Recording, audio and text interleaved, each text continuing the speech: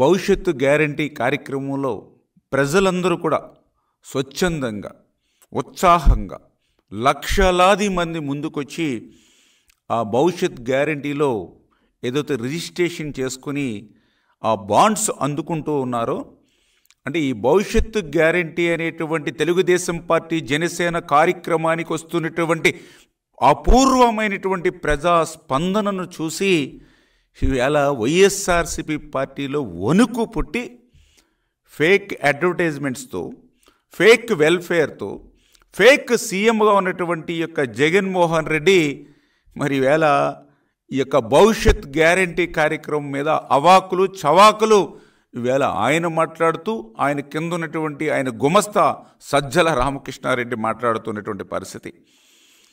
పచ్చకామెర్ల వాడికి లోకమంతా కూడా పచ్చగానే ఉంటుందని అంటూ ఉంటారు. ఎందుకంటే మీ అందరికీ తెలుసు ఏదైతే జగన్ డైరెక్షన్లోనే దొంగ ఓట్లు తంతు. అదేవిధంగా దొంగ ఓట్లు నమోదు కుట్ర ఐప్యాక్దే. అంటే ఈ రకంగా అంటే ఏదైతే వైసీపీ ఫీల్డ్ ఆపరేటివ్ ఏజెన్సీ ద్వారా ఎవరైతే వాలంటీర్ల ద్వారా ఐదు కోట్ల మంది ప్రజలు ఎవరైతే ఈ రాష్ట్రంలో ఉన్నారో వాళ్ళ లోతైనటువంటి సమాచారాన్ని సేకరించి రామ్ ఇన్ఫాటెక్కు రెండు వందల డెబ్బై కోట్లు ఖర్చు పెట్టి ఏదైతే చట్ట వ్యతిరేకమైనటువంటి సమాచారాన్ని సైతం సేకరించి దొంగ ఓట్లు ఏ రకంగా అయితే ఈ ఈ యొక్క ప్రభుత్వం వైఎస్ఆర్సీపీ పార్టీ చేస్తూ ఉందో అదే మాదిరిగా అందరూ చేస్తున్నారనేటువంటి విధంగా మరి ఈవేళ ఆ వైఎస్ఆర్సీపీ మాట్లాడడం అనేది చాలా చాలా హాస్యాస్పదంగా ఉన్నటువంటి పరిస్థితి. ఎందుకంటే ఏదైతే భవిష్యత్ గ్యారంటీ అనేటువంటి కార్యక్రమం ఏదైతే ఉందో ఇది ప్రతి గ్రామంలోనూ ప్రతి వార్డులోనూ కూడా బూత్ స్థాయిలో ఆ బూత్ స్థాయిలో కూడా ఎవరైతే అక్కడ స్థానిక నాయకులు ఎవరైతే ఉంటారో అంటే గతంలో కూడా గ్రామంలో పనిచేసినటువంటి సర్పంచులో ఎంపీడీసీలో లేదా ఇట్లా ఎవరైతే ప్రజాప్రతినిధులుగా ఉన్నటువంటి వాళ్ళు ప్రజలతో గుర్తించబడినటువంటి నాయకులు ఎవరైతే ఉంటారో వాళ్ళు బూత్ పరిధిలో ఇంటింటికి వెళ్ళి ఆ ఇంట్లో ఈ యొక్క భవిష్యత్తు గ్యారంటీ పథకాల కింద ఆ ఇంట్లో ఎంతమంది లబ్ధిదారులకి వర్తిస్తాయి? ఆ ఇంట్లో ఆ లబ్ధిదారులకి ఎంత లబ్ధి చేకూరుతుంది అనేటువంటి వివరాలు ఏవైతే తీసుకొని వాళ్ళకి అవి ఒక బాండ్ రూపంలో అంటే ఉదాహరణకి ఒక ఇంట్లోకి మనం వెళ్ళినప్పుడు ఒక ఇంటికి మనం వెళ్ళినప్పుడు ఏదైతే చాలా క్లియర్గా ఆ ఇంట్లో మరి ఒక రైతు కనుక కానీ ఉంటే లేదా ఒక కౌలు రైతు కనుక ఉంటే సంవత్సరానికి మీకు ఇరవై వేల రూపాయలు వస్తాయి. ఆ ఇంటిలో పద్దెనిమిది సంవత్సరాలు నిండినటువంటి మహిళలు ఉంటే ఎంతమంది ఉంటే అంతమంది. అంటే సపోజ్ ఇద్దరు ఉన్నారని చెప్తే రెండు పద్దెనిమిదిలు ముప్పై ఆరు వేలు వస్తాయి ఆ ఇంట్లో పద్దెనిమిది సంవత్సరాలు లోపు పిల్లలు ఎంతమంది ఉంటే అంతమందికి కూడా ఒక్కొక్కరికి పదిహేను వేల రూపాయలు. అంటే ఇద్దరుంటే రెండు పదిహేనులు ముప్పై వేల రూపాయలు. ముగ్గురుంటే మూడు పదిహేనులు నలభై ఐదు వేల రూపాయలు. ఆ ఇంటిలో ఎవరైనా డిగ్రీ చదువుకుని ఉద్యోగం లేక ఖాళీగా ఉంటే అతనికి నిరుద్యోగ భృతి కింద నెలకి మూడు వేల రూపాయల చొప్పున సంవత్సరానికి ముప్పై ఆరు వేల రూపాయలు వస్తాయి. అంటే ఆ ఇంటికి వెళ్ళి పద్దెనిమిది సంవత్సరాలు పైబడిన మహిళ ఎంతమంది ఉన్నారు? పద్దెనిమిది సంవత్సరాలు లోపు ఉన్నటువంటి పిల్లలు ఎంతమంది ఉన్నారు? ఎవరైతే నిరుద్యోగి ఎవరైతే ఉన్నారో? ఇంట్లో రైతు కానీ కౌలు రైతు కానీ ఎవరైతే ఉన్నారో? ఎక్కడ కూడా వాళ్ళ పేర్లు కూడా మేము ఎక్కడ నమోదు చేయట్లా. ఎంతమంది సభ్యులు ఉన్నారు? సంఖ్య తెలుసుకొని ఆ సంఖ్యకి ఇంటూ ఇద్దరుంటే రెండు పద్దెనిమిది ఇంటూ రెండు ఇంటూ పద్దెనిమిది వేలు ముప్పై ఆరు వేలు. ముగ్గురు పిల్లలుంటే మూడు ఇంటూ పదిహేను వేలు నలభై ఐదు వేలు. రైతు ఒకరుంటే ఒకరి ఇంటూ ఇరవై వేల రూపాయలు. అదేవిధంగా నిరుద్యోగ ఒకరుంటే ఒకటి ఇంటూ ముప్పై ఆరు వేల రూపాయలు. అంటే ఈ రకంగా ఆ ఇంటిలో ఈ యొక్క బాబు షూరిటీ భవిష్యత్తు గ్యారంటీ కార్యక్రమంలో ఆ ఇంట్లో ఎంతమంది లబ్ధిదారులకి ఈ పథకం వర్తిస్తుంది? ఆ లబ్ధిదారులకి సంవత్సరానికి ఎంత అమౌంట్ వస్తుంది అనేది చాలా క్లియర్గా ఒక బాండ్ రూపంలో వాళ్ళకి సంతకం పెట్టి మరి.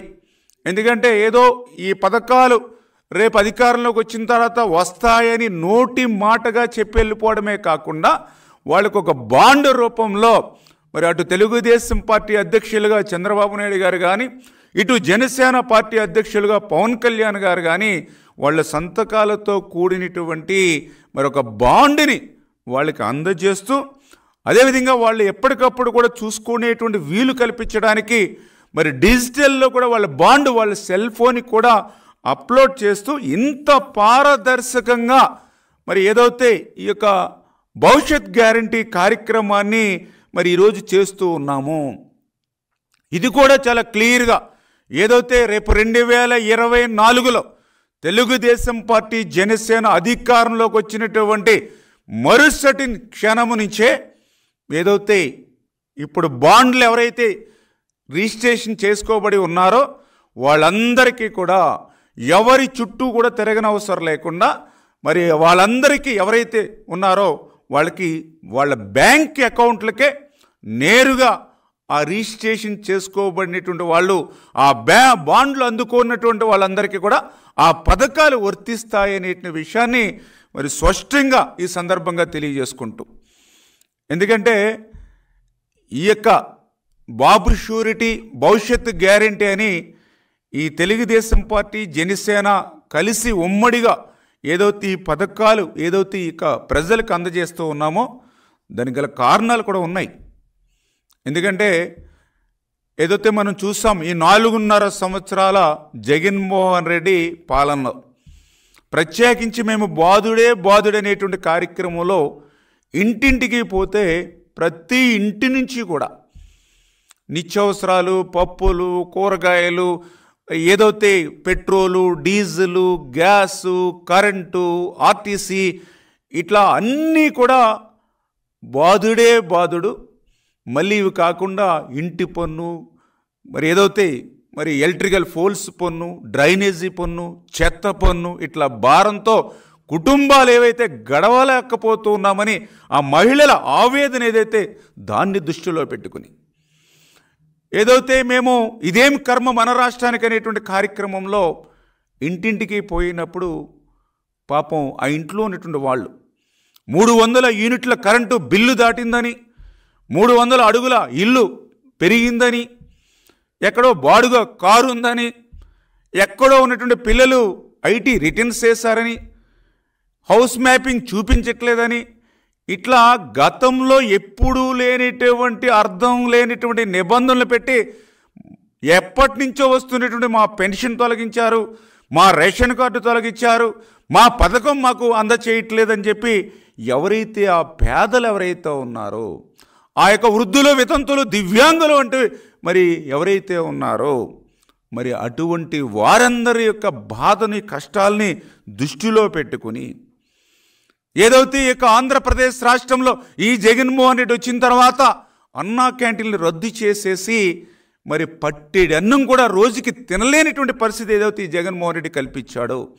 పండుగల కానుకలు ఏవైతే రద్దు చేశాడో నెల నెల వచ్చే రెండు వేల నిరుద్యోగ భృతి ఏదైతే రద్దు చేశాడో మరి ఇట్లా ఏదైతే ఈ యొక్క నాలుగున్నర సంవత్సరాలలో ఈ యొక్క ప్రజలు పేదలు మధ్యతరగతి వాళ్ళు ఎవరైతే ఇబ్బందులు కష్టాలు సమస్యలు ఏవైతే మా దృష్టికి వచ్చాయో ఏ రకంగా అయితే ఈ నాలుగున్నర సంవత్సరాల్లో మరి ఆ కుటుంబాలు ఆర్థికంగా పేదవాళ్ళు చిన్న భిన్నం ఏదైతే అయిపోయారో అటువంటి పేదవాళ్ళకి అటువంటి మధ్యతరగతి వాళ్ళకి మళ్ళీ ఆంధ్రప్రదేశ్ రాష్ట్రంలో మంచి రోజులు వస్తూ ఉన్నాయి. మళ్ళీ రేపు తెలుగుదేశం పార్టీ జనసేన ఈ రాష్ట్రంలో అధికారంలోకి వస్తూ ఉంది. మళ్ళీ మీకు ఒక భరోసా మళ్ళీ మీకు ఒక భద్రత. అదే బాబు షూరిటీ భవిష్యత్ గ్యారంటీ అని ఆ ప్రజలకి మేము ఒక భరోసానివ్వడం ఆ ప్రజలకి మళ్ళీ ఒక భద్రతనివ్వడం మరి ఇది వైఎస్ఆర్సీపీ పార్టీకి మరి ఎట్లా తప్పు అనిపిస్తుందో అర్థం కానిటువంటి పరిస్థితి. అంటే నేను అడుగుతూ ఉన్న సూటిగా ఈ యొక్క ముఖ్యమంత్రిని ఆ ముఖ్యమంత్రి తరపున మాట్లాడేటువంటి ఆ యొక్క డూప్లికేట్ ముఖ్యమంత్రి సజ్జల రామకృష్ణారెడ్డిని అడుగుతూ ఉన్నా. తెలుగుదేశం పార్టీ జనసేన కలిసి ఇస్తున్నటువంటి సంక్షేమాన్ని చూసి ఎందుకు మీరు భయపడుతూ ఉన్నారు? దీనికి సమాధానం చెప్పండి స్ట్రైట్గా. నేను అడుగుతూ ఉన్నా. ఈ జగన్మోహన్ రెడ్డిని సజ్జల రామకృష్ణారెడ్డి గారిని అడుగుతూ ఉన్నా.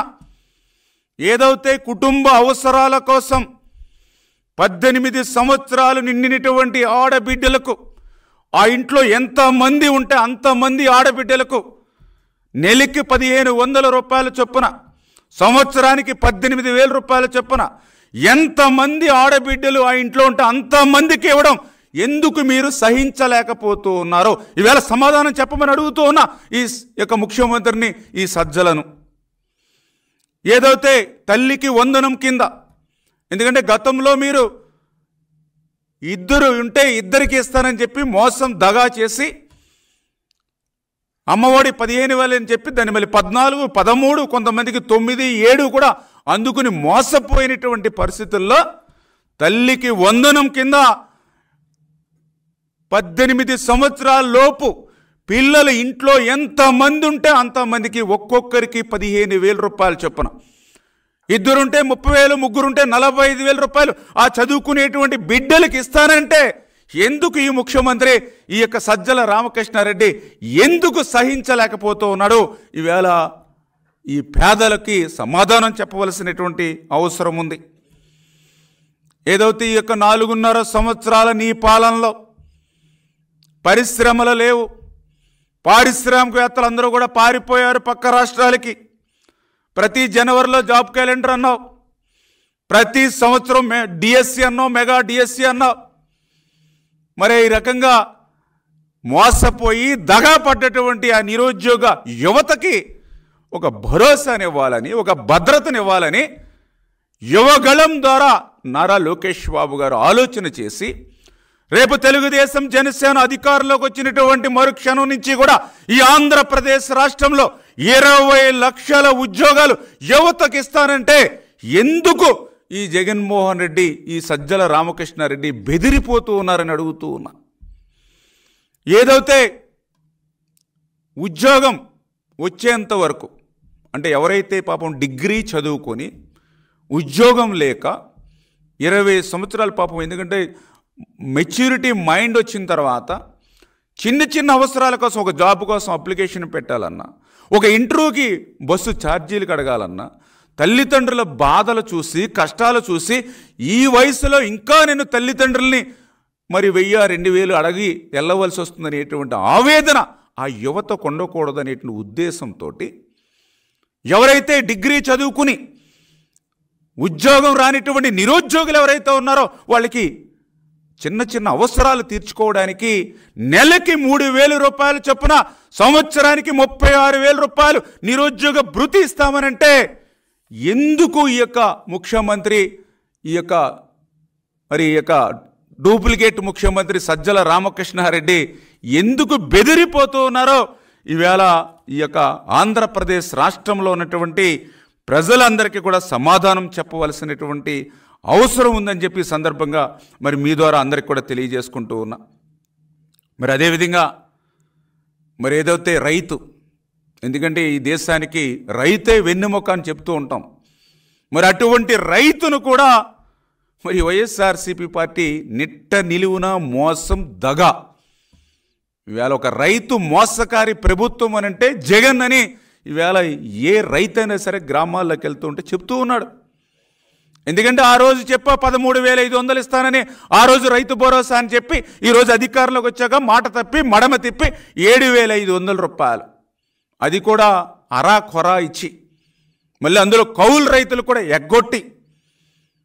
ఈవేళ ఆ రైతుల్ని నిట్ట నిలువునా నువ్వు మోసం దగా చేస్తూ ఉంటే వ్యవసాయాన్ని కాపాడుకోవాలి రైతుని రక్షించుకోవాలనే ఉద్దేశంతో రైతుకి కౌలు రైతుకి కూడా సంవత్సరానికి ఇరవై వేల రూపాయలు పెట్టుబడి సాయంగా తెలుగుదేశం జనసేన ఇస్తానంటే ఎందుకు నీకు ఉలిక్కిపాటు పడుతున్నావో? ఈ యొక్క జగన్మోహన్ రెడ్డి సజ్జల రామకృష్ణారెడ్డి ఆ రైతులకి వేళ సమాధానం చెప్పవలసినటువంటి అవసరం ఉందని చెప్పి తెలియజేస్తూ ఉన్నా.